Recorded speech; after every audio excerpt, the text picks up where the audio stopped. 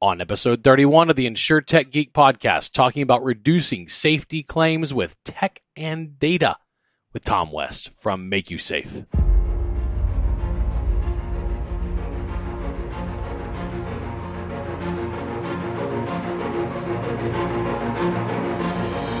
The InsureTech Geek podcast, powered by JB Knowledge, is all about technology that is transforming and disrupting the insurance world. We'll be interviewing guests and doing deep dives into specific technologies that we see changing the industry. We're taking you on a journey through insurance tech, so enjoy the ride and geek out.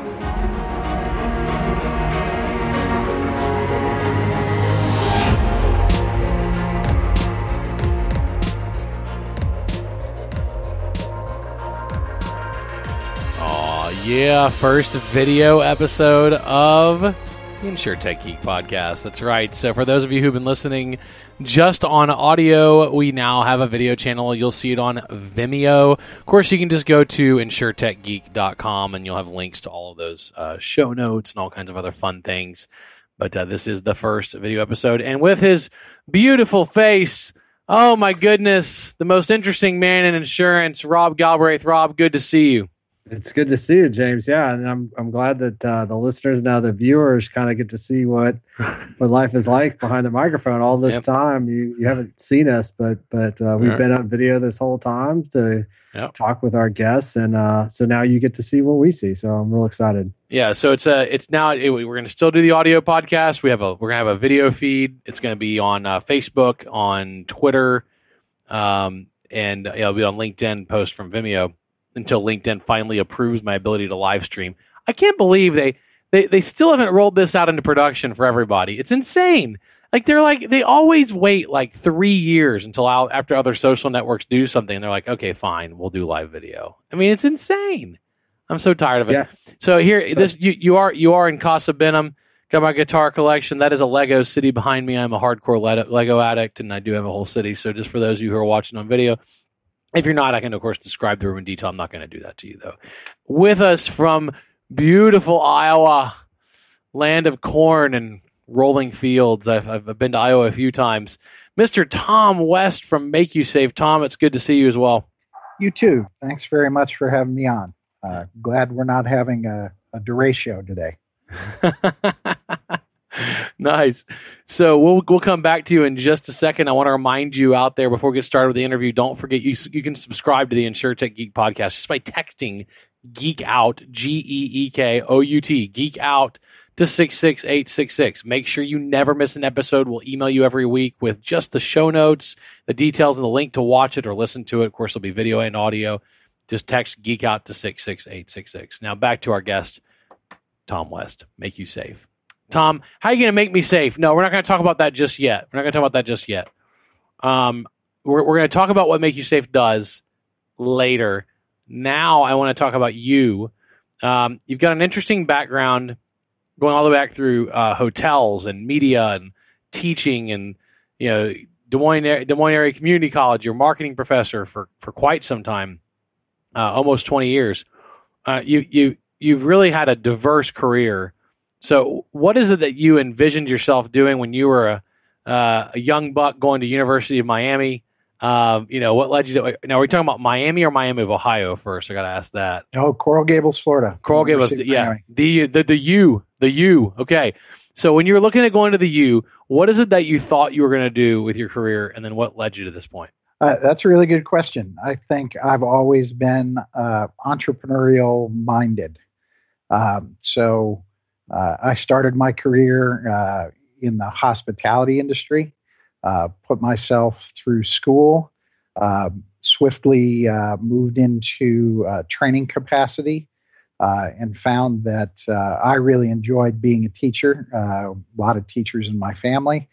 Um, so I've spent most of my career in HR or learning and development or training space. And um, ended up moving to Des Moines, Iowa, where um, there was a uh, world leading uh, producer of learning and development content called American Media Incorporated. So I got to uh, be part of that organization for quite some time. Uh, we uh, grew to be the largest in the world. and uh, it was right in my wheelhouse. Right, uh, being able to teach managers and supervisors uh, uh, about communication with the front lines and best practices and how to be better leaders. And that's kind of what I spent my my life doing. I guess from there, I've been an executive member of the leadership team with many companies that produce um, organizational development or leadership development tools and training tools, and even technology platforms, uh, and marketed uh, those. And then, yeah, you're right. Actually, it was for almost 30 years. Um, I was an adjunct professor at a local uh, college teaching management, marketing, and uh, entrepreneurial uh, classes there. So I feel pretty fortunate at this part of my life. I'm doing exactly what I want to be doing. Um, and, and, I appreciate uh, small startup ventures and what it takes to uh, help grow them. So, yeah, it's and and teaching teaching is fun. I mean, you you I I, I just finished my fifth year as an adjunct professor at Texas A and M, and I, I I had a five year deal and I completed it. I'm I'm I'm taking a break from it now.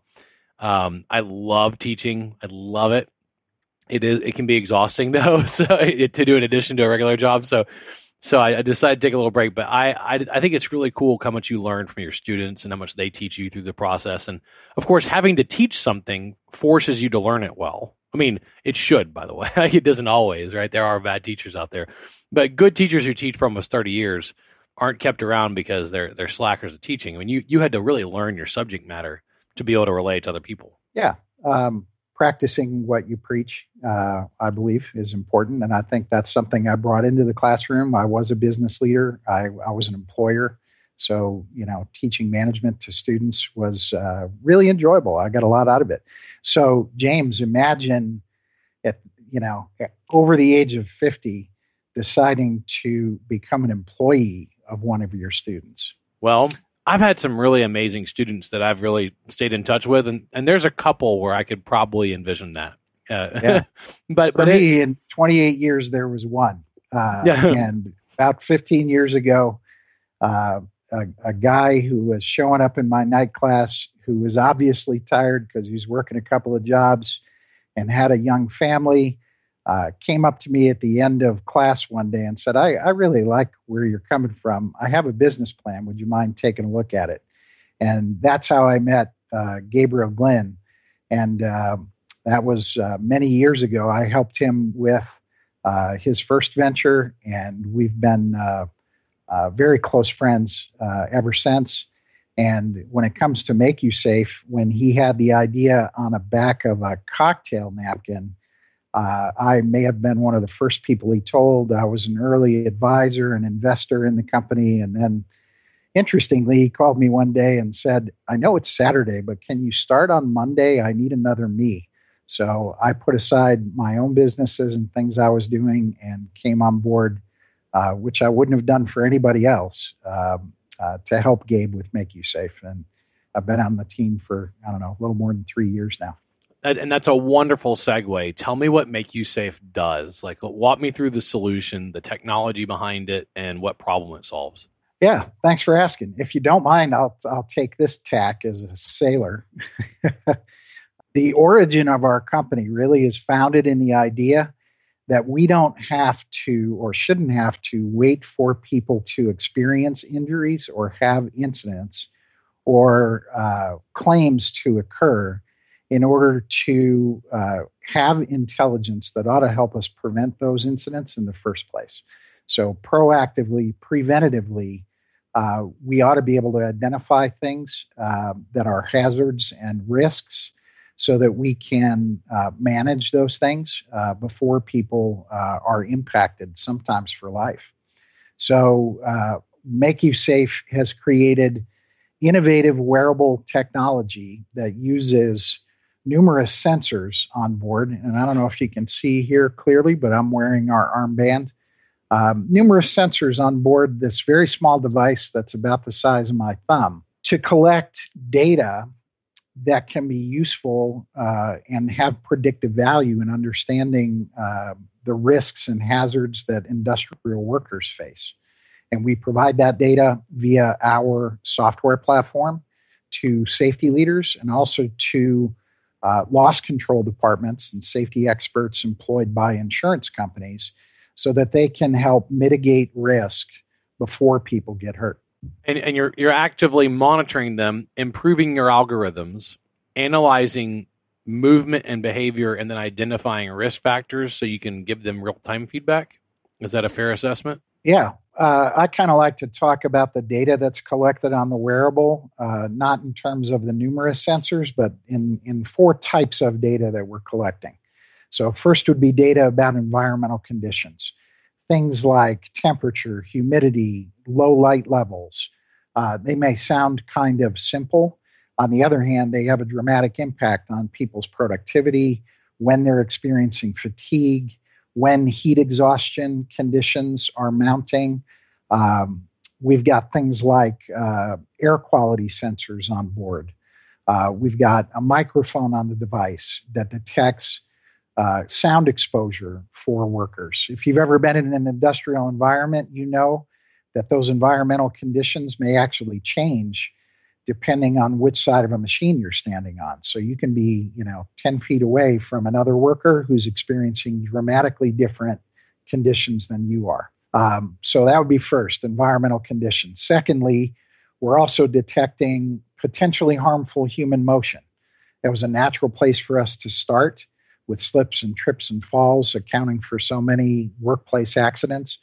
But we use accelerometers on the device, and we can also uh, detect things like pushing and pulling that may be an exertion uh, injury waiting to happen. Third would be the location of where these things are being experienced within a facility. So we overlay that actually in our software platform onto a facility floor plan, and you almost get kind of a Doppler radar effect or a heat map view of the frequency of indicators that are being experienced by workers in those areas. And then last would be um, we've got a, a button on the front of the device that allows a worker to push it and hold it, and they can record up to a 15 second voice memo. And that's intended to increase the communication of near miss occurrences or just enable smooth and easy reporting of observations from the front lines. So every safety manager and every loss, loss control guy or gal says that this is the kind of data that everybody wants more of, right? This is leading indicators of risk and near misses that we all want to see. Yet everybody also agrees that a huge percentage of those things never get reported. So yeah. we've created an automated automated way to collect that data, provide it to leaders for better decision making.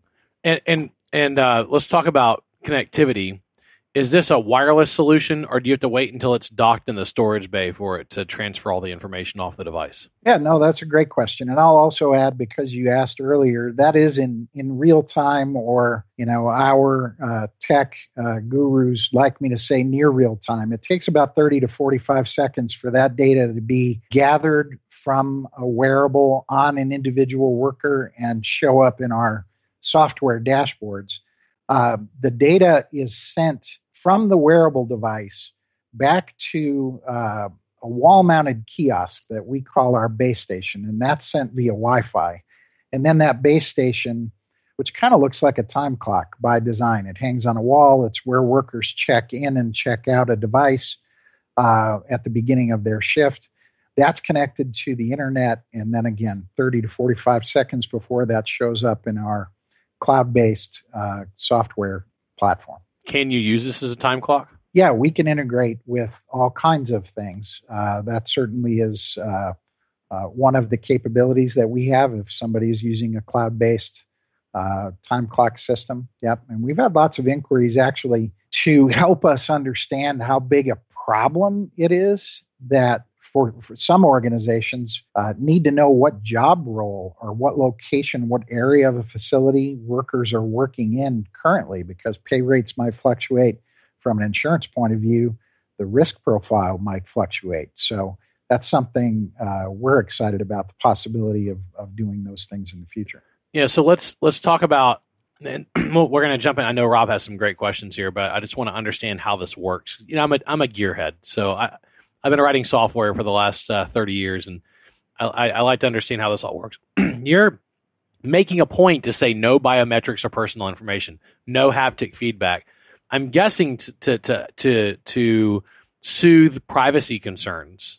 I'm guessing that's why you're saying that. Is that correct? Yeah, sure. Um, we of course want to respect for uh, respect worker privacy. So that's part of our our tenants i think there's a lot of resistance in the mind of the worker about being tracked. I mean we're not in, at all endeavoring to do that or collecting anything that is biometric or looking inward at the worker. Instead we're looking out into the environment. We're collecting data about risks and hazards from on the worker. And that data that's collected from rob today might indicate a hazard that can be uh, remediated so that James isn't hurt on the assembly line tomorrow. Awesome. And, and I've interviewed some other solutions like Spot-r from Triax and others that, that get into slip trip fall detection, you know, an SOS button. I haven't seen the the recording voice. That's actually a, a, a completely unique feature. I mean, I, you know, I've been been doing this a while, and of all the solutions I looked at, I haven't seen voice reporting. So I like the voice reporting features. Slip trip fall is fairly common at this point but com- but comboing sound exposure and air quality heat and light that combination i have not seen in a simple worker wearable. I've seen it in standalone units. You know like there, there's there's another system out there called pillar that does the, these standalone units that aren't on workers. But you're right you can have vastly different environmental conditions 10 or 5 feet away so it makes a ton of sense it's almost like we're, we're just arriving at the point where all this can be miniaturized enough to actually be on a worker because until now it had to be on a base station, right? Yeah, very true. Thanks for pointing that out. We think that that voice reporting feature uh, is one of the things that sets us apart. Keep in mind that you know there's a ro- robust array of sensors. We're collecting an awful lot of data. We're doing that actually costing tens of dollars per employee. It's not hundreds or thousands, so very economical. Uh, but we hear things on voice memos all the time like I'm back here in a dark corner of the warehouse and there's a stack of pallets, material looks like it's going to fall over, right? Or somebody coming into the facility first thing in the morning saying, I think maintenance must have painted the floors in our area. And I'm guessing they may have used the wrong paint because it's slippery as an ice rink back here. We've had uh, voice memos that indicate to safety leaders opportunity or operations leaders opportunities for uh, quality improvements, for process reengineering. So um, you know we're we're sticking to our guns. We we uh, aren't uh, trying to infringe on the privacy or the perception by the worker. You know, it's been interesting, even in organized labor union environments, when we're brought to the table with heads of the union and uh, uh, executive management team. Um, you know i've had some rocky starts to those meetings they're not they're not fans of each other typically and five minutes in it's great to look at you know another MakUSafe team member and realize that they're now convincing each other about why use of MakUSafe is a good idea and we haven't had to speak for a while. Yeah well because they and, and I've, I've done a lot of work with labor unions. We're going to talk about labor unions in a second. So i'm going to bookmark that. Rob had a really good comment slash question about MakUSafe in wearables and ppe Rob? Yeah, thanks, James. So, uh, Tom, great, great background, and, and thanks. It's just amazing, right? Uh, as James pointed out, the miniaturization and being able to put all those sensors on something that's the what would you say the size of your thumb? I mean, it's pretty incredible.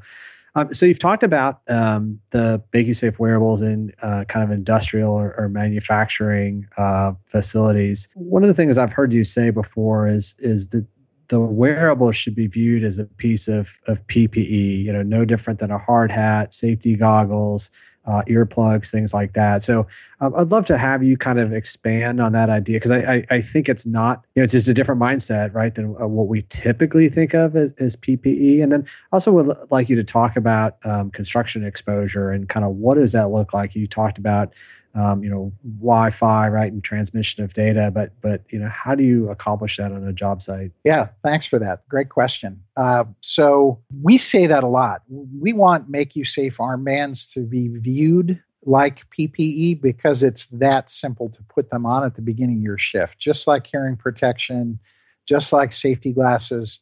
Um, and we're extremely low cost, right? Like buying a pretty good pair of, of work gloves. Uh, on the other hand, it's so much more than that.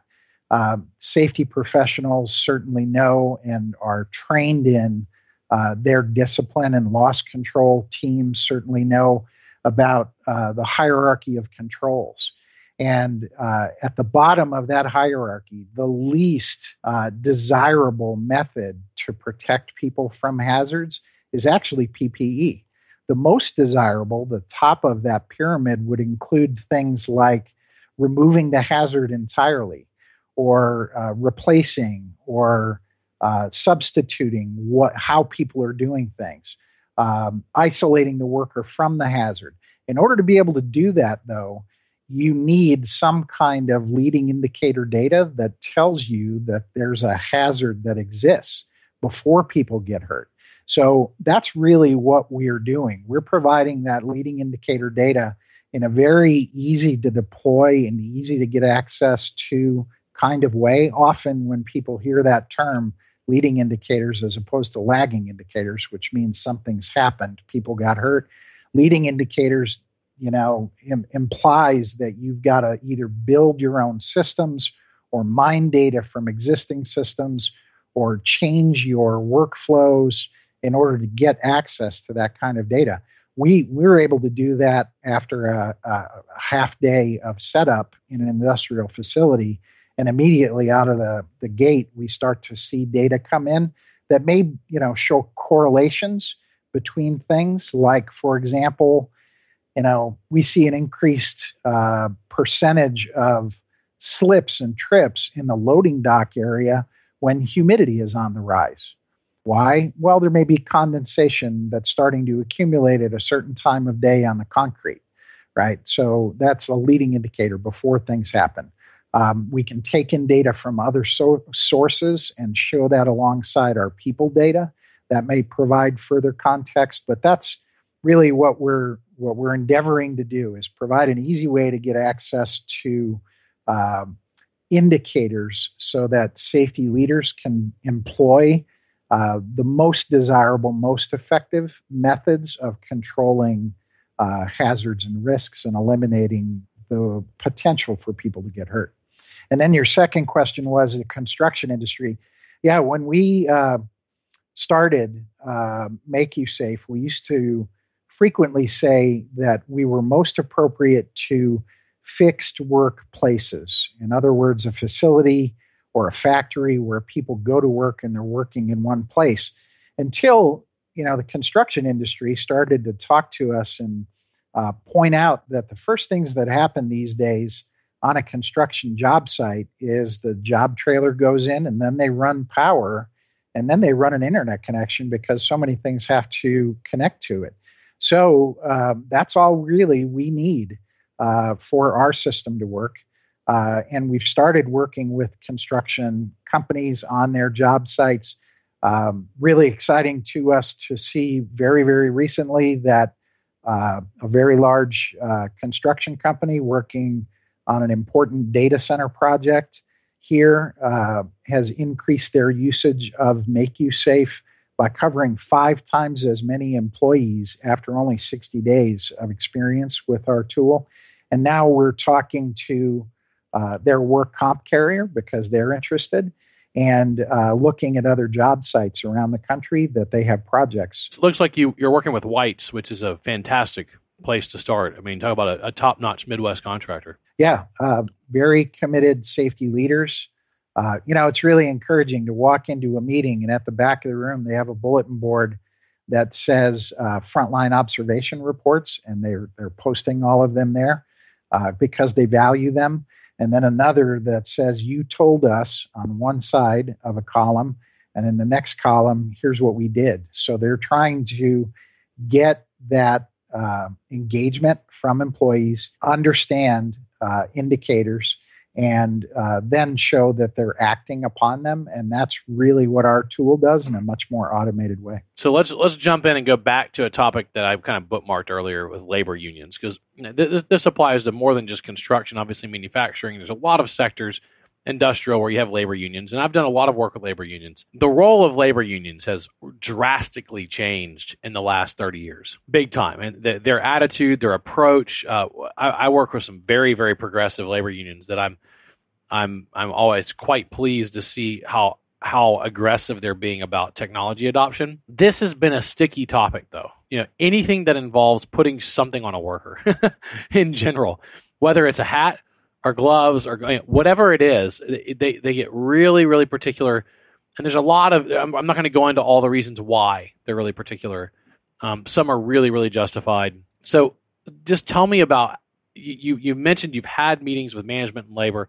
I want to hear what, what labor unions, when they first walked in, they were probably ready for war. I imagine they were bristled and, and bound up and ready for war. What, tell me what they heard, what they saw that changed their minds, and then tell me what they what they said when they did change their mind. Yeah, that's a really good question. Thanks for asking. Um, I think when we start to talk about what the MakUSafe wearable collects, and also I kind of like to say what we're not doing, right? Um, that has an impact. So we're collecting data about the environment and we're looking outward, trying to act as an advocate for the worker and give optics into actual working conditions that uh, workers are facing when doing their jobs. Uh, what we're not doing is anything personal, as we mentioned. Uh, we're not giving any haptic feedback to the worker. There's no buzzers or bells or whistles that go off that could interrupt people's work and you know as a uh, as an hr guy as a leadership development guy i really don't think it has a positive lasting effect anytime you're constantly telling somebody they're doing something wrong. So for that reason we're not setting off buzzers. This is a one-way communication tool. And really the intent here if you think about it is to provide data to safety leadership to make sure that they're acting upon it. So we're holding them accountable. And when you start to paint that picture, this isn't anything that's going to be used for punitive purposes about the worker. And in fact, in some union environments, we've even been asked to uh, not identify which worker is wearing a wearable, but just show a number. So worker one through, you know, worker 100 or whatever. Uh, but instead, providing that data to safety leadership uh, allows them to uh, start to engage in conversations to really understand what's being faced on the front lines and then uh, to track hazards that are identified to make sure that they get resolved uh, to create tasks uh, and those are the kinds of things that we do in our software platform. So you know the the worker has a wearable on but uh, really the data that's being collected is data that can be used to ensure a safe workplace for them and their coworkers. Awesome. I know, Rob, you've got a, let's bring it back to insurance. Rob, I know you've got a great question about how this pulls back to insurance. Yeah, Tom. So we've talked about some of the industries that that you guys work with, and, and I know you've worked in uh, all sorts of environments, um, some some very volatile environments, right? Uh, I don't know, it was a smelting facility or something like that. I mean, so you've you've definitely worked in some some environments that maybe people might not think uh, that these types of, of devices could work. Uh, but yeah, I definitely want to take it to the insurance side, of course, right? Uh, that's that's it's my background and, and passion, and so. Um, you kind of mentioned, uh, uh, you know, work comp carrier as well as a, you know, working with um, you know an employer. Yeah, I'm just kind of curious from it from an agent broker perspective as well as a carrier perspective. You know, what do those relationships look like? Um, you know, what conversations have you had? What relationships uh, do you have? And and kind of what's that perspective? And is that a a value prop? You know, could they save money on their their premiums by reducing workplace injuries? Yeah, that's certainly the vision um, and we would like to be ubiquitous, right? Use MakUSafe like using a smoke detector, get a you know or a house alarm, get a credit on your policy. Uh, so one day, hopefully, soon we'll get there. um, we're working with numerous uh, carriers, I think uh, uh, almost on double digits. Uh, we just officially launched our product into the marketplace uh, at the beginning of this year. We got our first shipment of saleable inventory the week that COVID lockdown started in our country, which was kind of interesting. Um, but uh, we have sound, solid commitments from uh, all kinds of insurers, uh, carriers, agents, brokers. And you're right, from the carrier side, you know, there's an appetite, uh, certainly in loss control, for this kind of data. And, uh, you know, we're even starting to explore um, ideas like enabling virtual loss control when, when reps can't get out into the field to do field visits. We've got a dashboard that shows indicators and trends and enables them to communicate and engage with safety leadership on the front lines and kind of is a lever for them to pull to influence uh, risk mitigation within policyholder organizations. Um, from an agent or broker perspective, uh, we've learned that this can be a significant differentiator. Um, you know, there are uh, high mod score specialists, right? Companies that that will work with uh, companies in a very hands-on way, this is a terrific tool for them.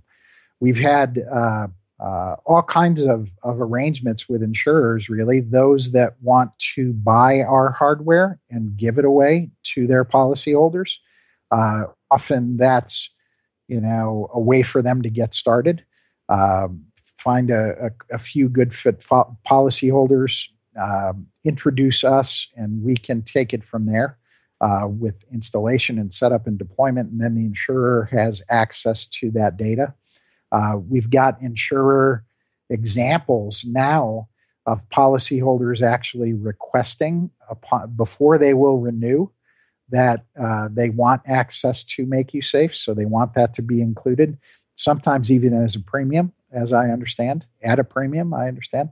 Um, we've got examples where oh, insurers uh, will write business when uh, MakUSafe is being utilized and building discounts and credits uh, around use of MakUSafe. So uh, we've uh, we've come quite far pretty fast. Things are are very swift moving for us. Um, we're interested in in of course talking with insurers about ways that we can work with them and collaborate with them and coming up with arrangements that are are you know beneficial. Uh, we've got a lot of traction in innovation departments, uh, and I think it's interesting these days after what we're all experiencing with COVID. Um, I, I, I believe we're now being viewed as pretty practical, right? Low cost, uh, and therefore why can't we get started with this right away? This doesn't need to be a long, drawn out, you know, innovation uh, uh, project. Instead, cheap and easy. Put the MakUSafe guys to work.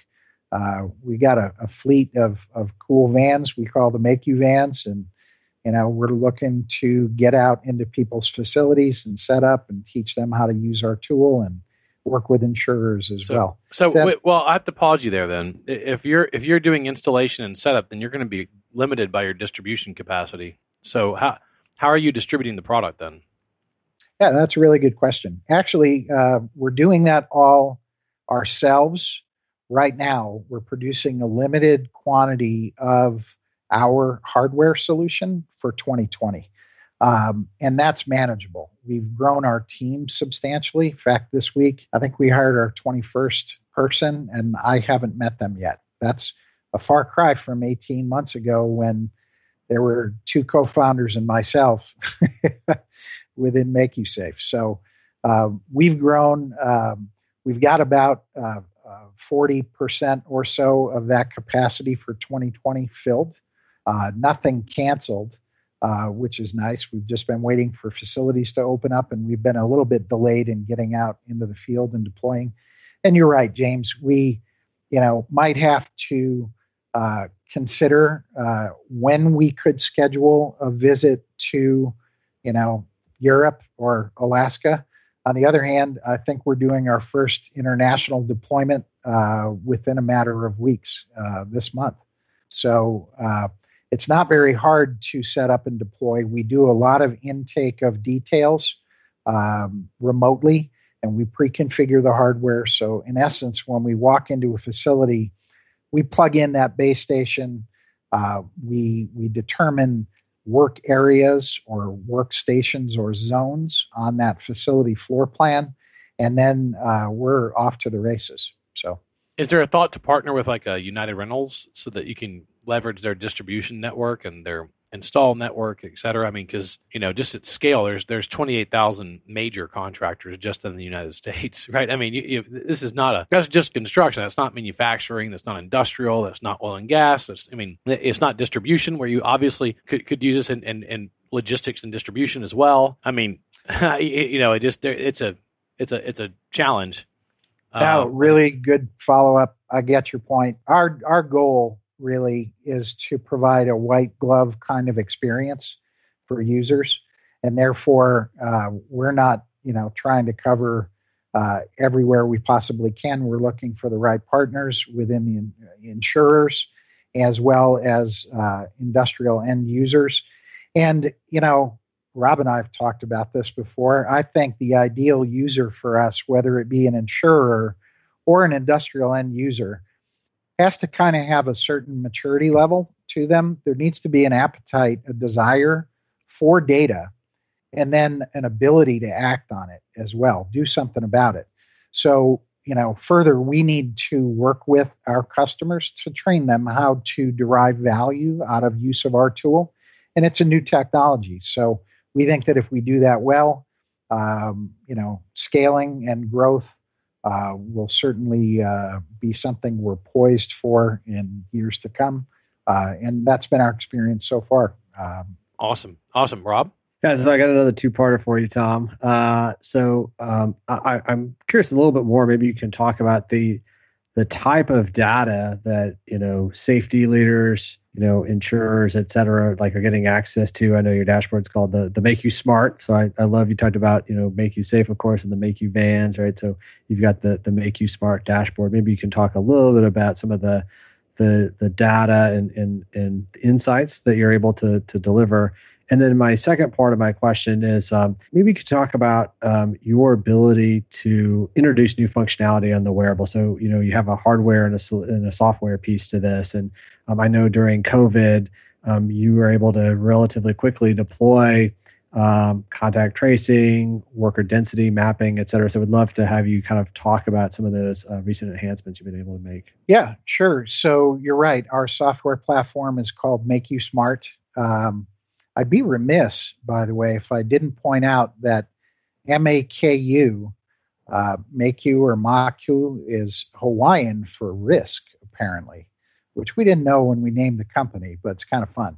Um, so, in our, our Make You Smart platform, uh, we're uh, fully responsive. So, on any device, safety leaders and loss control insurers have access to data. And what they're seeing there is really things like uh, environmental indicators that are occurring right now, uh, motion indicators, slip strips that are occurring right now, who those things have occurred to, where they've occurred.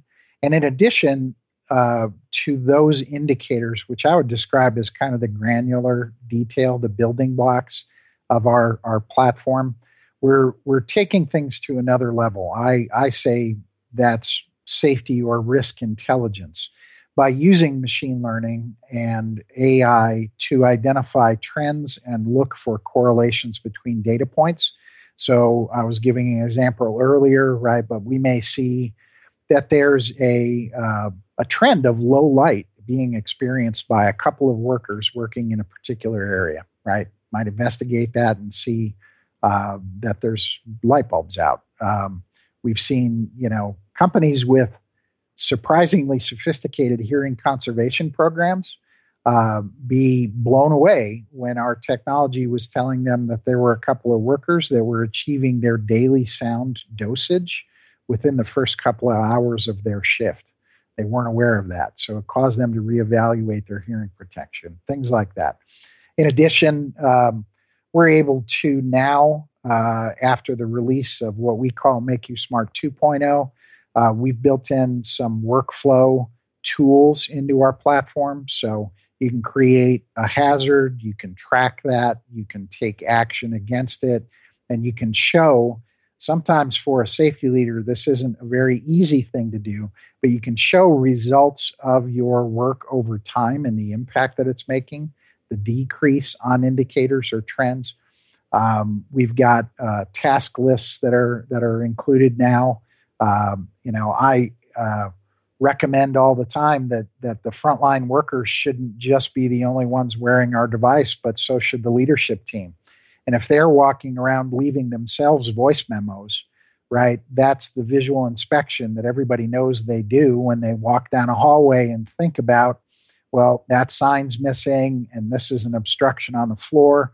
So those things go directly into our platform and it helps make management more effective and efficient but it's also a lead by example. I mean, it, it, you know, look if the if the leadership's willing to wear it, everybody's like, all right, guess I am too, right? I mean, my my business partner Sebastian Costa, world's he's just amazing, like one of the best people in the world, man. And he he holds me accountable all the time on this. In fact, we had our quarterly conversation today. We do ninety day reviews at JBK. We don't do annual reviews. And we were doing our quarterly today, and and uh, I was thanking him for holding me accountable. There was one time we were walking to the parking spot, and I had not parked in the where everybody else parks that day, I had parked up closer to the building. I, I was in a hurry, and I just I was like, ah, ah heck with it, I'm going to park in front of the building. Man, he he jumped on me. He goes, "You got to park with everybody else." And I said, "All right, you got it." I didn't fight him on it, and, and, it, and it's it's just lead by example, right? I mean, it, there are people who don't like wearing things. There's people who don't like wearing masks. A lot of them. we found out like half the world doesn't like wearing a mask. And, and, there's people who don't like wearing things on their arms. What I, what I do like is how low form factor what you have is. I mean, it, that is small and lightweight. So you probably forget that you're wearing it. I would imagine.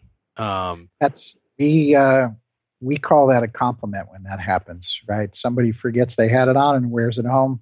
In fact, Rob, you alluded to this earlier. We've been at work in some pretty demanding environments, like right out of the right out of the movies. Uh, you know, smoke and air quality and things like that. And the only time we've ever had a device fail is when somebody took it home, took their coveralls off, and put it in the washer and dryer.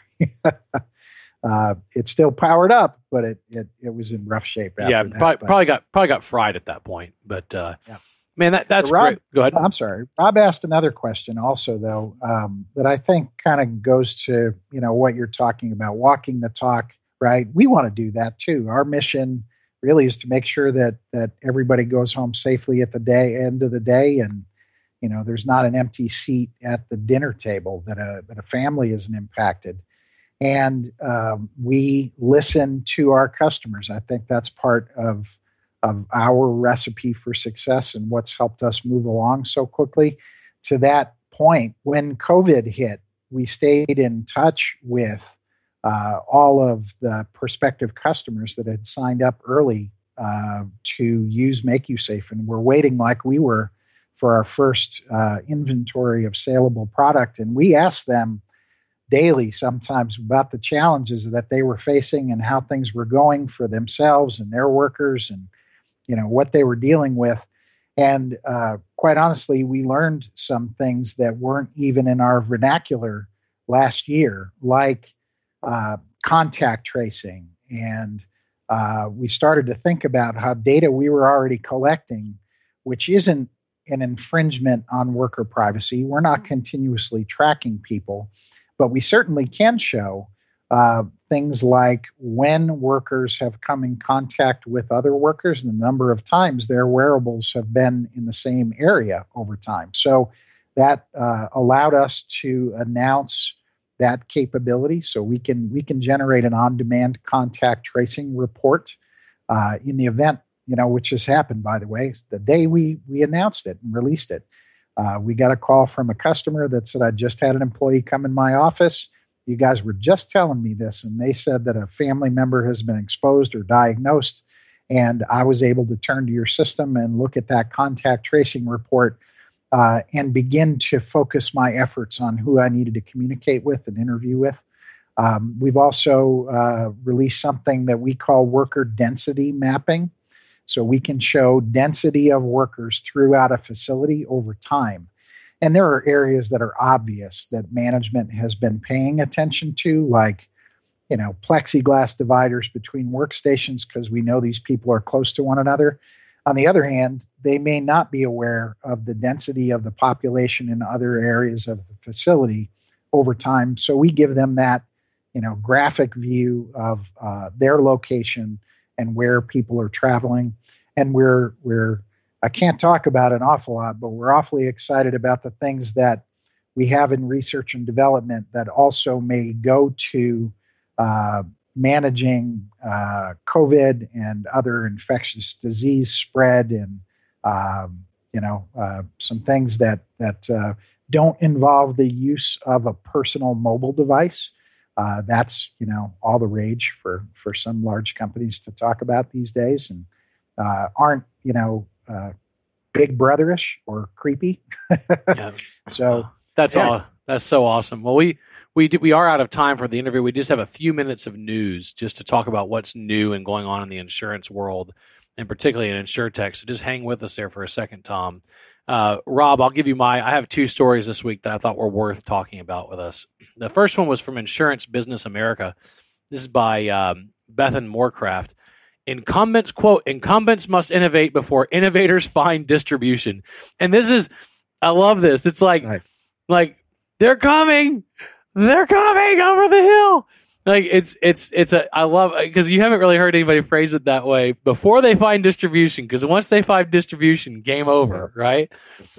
And I I, I loved this article because uh, they're talking about just the number, you know, the sheer number of agents, agencies, uh, how many retail agents there are, um, you know the the uh, the direct model. Obviously, uh, there's just a lot of threats um, uh, that that to, to traditional business models. And if if you have a chance, go to insurancebusinessmag.com and uh, and read through it. But what I wanted to talk about with you, Rob, was really that main comment is um, there's a there's a timer, there's a clock running now about you know the the new and the the new insurtech, the digital MGAs, the digital carriers.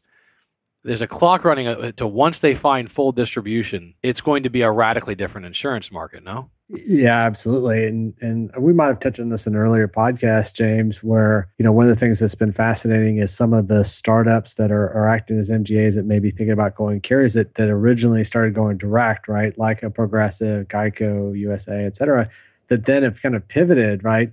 And realize, oh, those independent agents, maybe those aren't dinosaurs I just need to go past. They actually hold the, the keys to the castle because they're the link to the distribution side of things. So, you know, everyone's got different philosophies, whatever, but but exactly their point. We've even talked to to uh, folks like Darcy Shapiro, Cover Genius, right, about kind of, hey, those non traditional distribution channels of being on the travel website, for example, right, and offering coverage there and whatnot. So, yeah, I, I think uh, I think that's very very timely for sure. Absolutely. Yeah, and and it's look, um, just go go everybody out there in listener land, go read the article. Distribution's everything in pretty much every industry, and it's everything in insurance as well. Uh, it's just just like I was just talking with Tom. I was really talking about distribution challenges, right? And that that's really the the issue. There's some really brilliant um, ideas out there on insurance, and and the second article I have, Rob, is directly tied to distribution. It's almost like I'm from South Louisiana, and so you have so many natural disasters that happen in South Louisiana. I mean, you got floods, you got hurricanes, you have tornadoes that spin off from hurricanes, you have, you know, pretty much every kind of uh, poisonous reptile on the planet lives in Louisiana. You know, there's a lot of things that can kill you down there. Maybe you get a little immune to it, and you always think that everything, there's something bad is going to happen to everybody else. I'm sure there's a, I'm sure there's a, a, a, fancy academic phrase for this, you know, like the not me paradox or something. People just don't think it's going to happen to them. And I feel like every industry assumes they're not going to be disrupted by the likes of Amazon. I feel like they do. I feel like the well, you know, Amazon really disrupted retail and books, oh, and shipping and oh yeah, and the cloud and oh yeah, I, I, I get it. They're eating the world, but they're not going to hit my industry. Um, it helps to watch world news.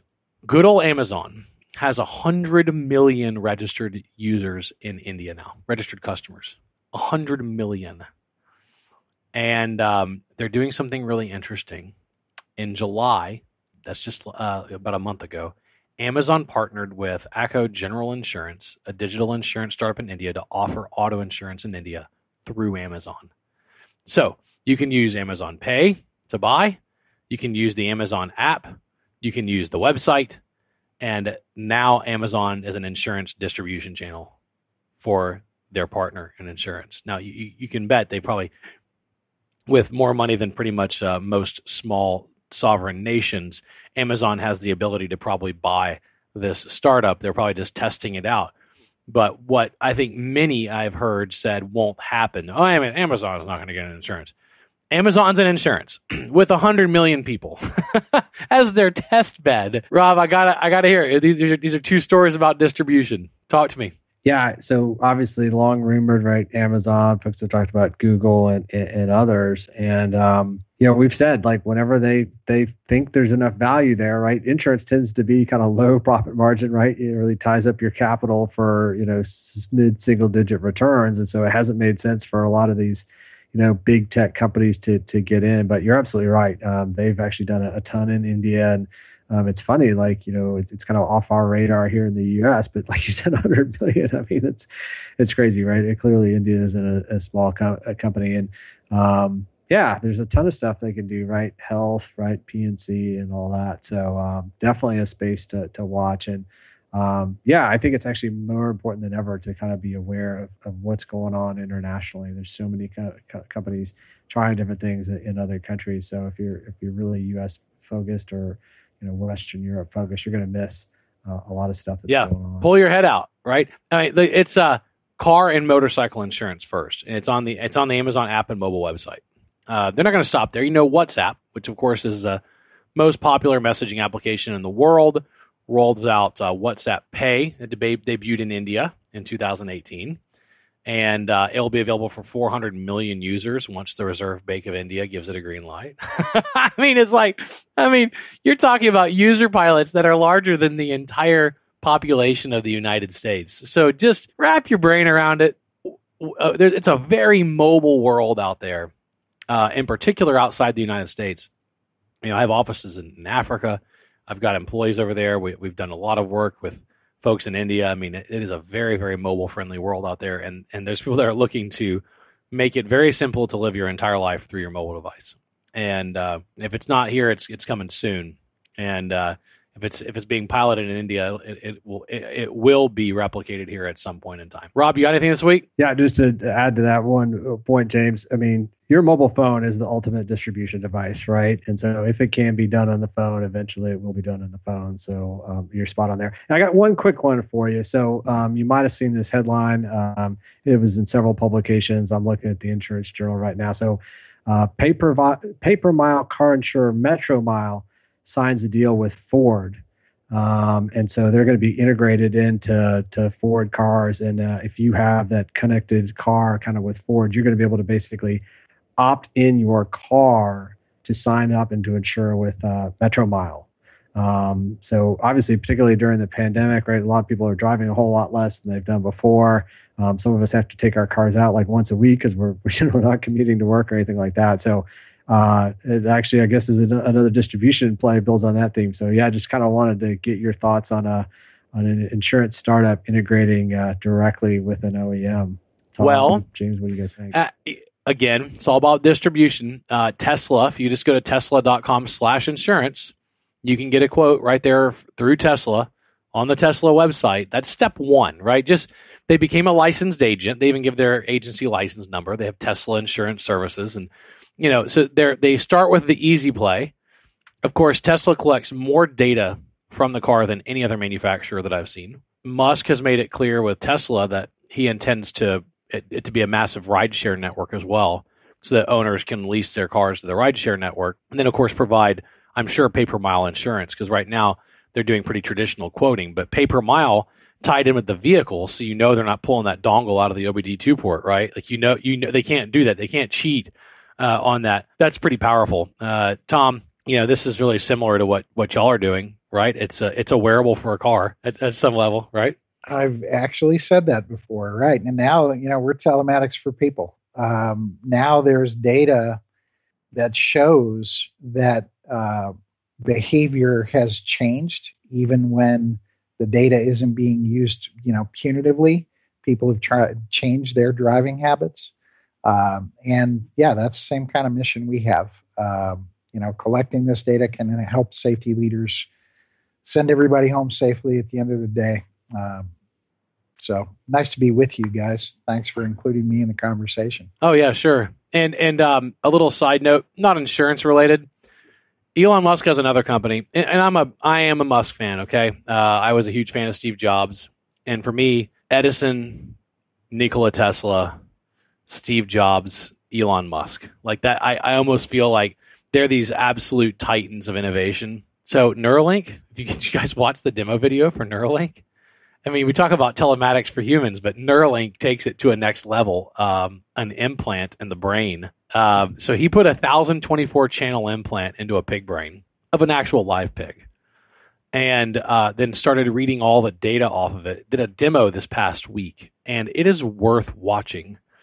Um, every time they would touch, pigs love having their nose touched. So they have a lot of a lot of they have a huge sensor array in their noses, and they would just very gently touch the pig's nose and. Uh, they would measure and all the responses that came gotta, off. You got to come to Iowa. We've got an awful lot of swine wearable companies and startups and innovation that's happening here. So yeah, yeah, this is yeah, this is like totally next level. They implanted when you're in town. Yeah, yeah, yeah. They they they they they very safely implanted the the chip inside the pig's brain. Uh, there was there was nothing the chip the, the pig was uh, was wearing, but it, I mean it it was uh, it was pretty fascinating and uh, I, I, would I would encourage you to check it out. It takes wearable to a completely new level. so, anyway, that's on that note. That's been our show. Uh, Tom, thanks for joining us. Appreciate it. Uh, thank you both for having me. Enjoyed the conversation. And as always, Rob Galbraith, uh, you are a man of intrigue. I appreciate you being here. I'm sorry you're still you're still your wings are still clipped. I can feel the anxiety. You can't go to these conferences, but uh, I know you're speaking at a bunch of them and, and having all kinds of fun. So uh, it's good to see you. Great to see you too, James. Absolutely. And thank you out there for joining us for the InsureTech Geek podcast powered by JB Knowledge. That's jbknowledge.com. It's all about technology. It's transforming and disrupting the insurance world. I'm your host, James Benham. It's jamesbenham.com with co-host Rob Galbraith, endofinsurance.com. Big thanks to Jim Greenlee, our podcast producer, Kara Dalton, our creative producer, and Adele Waldeck, our transcriptionist. And thank you for joining us today. We're taking you on a journey through insurance tech, so enjoy the ride and geek out. See you next week.